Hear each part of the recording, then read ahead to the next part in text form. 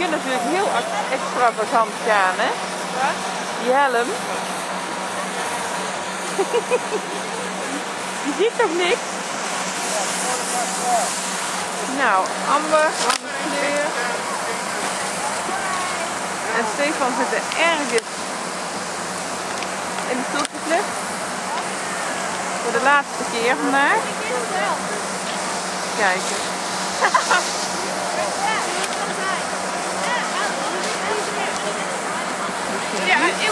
Ja, andere something on kleur.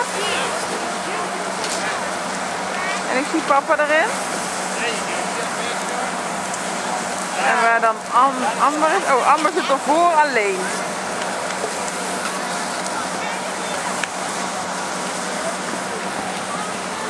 Amber vindt het zo leuk.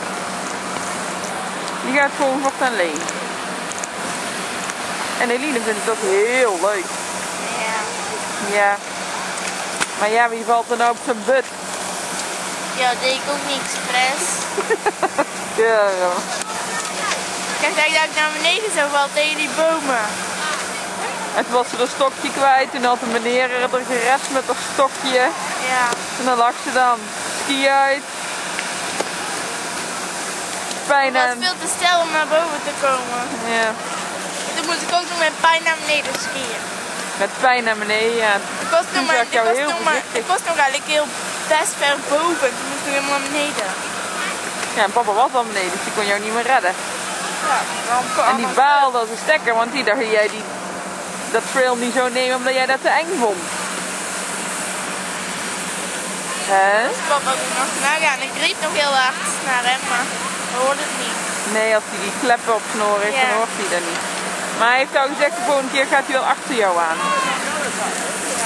Goed? Ja. Nou.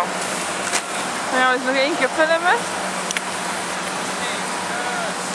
Zie nog veel leuke mensen. Oh ja, mensen met een rok op skaat. Ski. Ja, dat is als je Joods bent. Want hoe dan ook, je moet een rok aan. Niet alle Joodse. Het is een, eh, de hardnekkige gelovigen. En die hebben ook onder zijn helm hebben ze netjes dat eh, zwarte ronde, hoe noemen we het, toepetje? Is Kappertje? langs mij. Oh, ja. Ja, ja. Ze worden nog beroemd in Nederland. Met zo'n dingetje op zijn hoofd. Die moet gewoon onder de helm. Hebben we nog meer grappige mensen? Ja, ik ben ook best grappig, want ik zie er ook niet uit, namelijk, met mijn muts.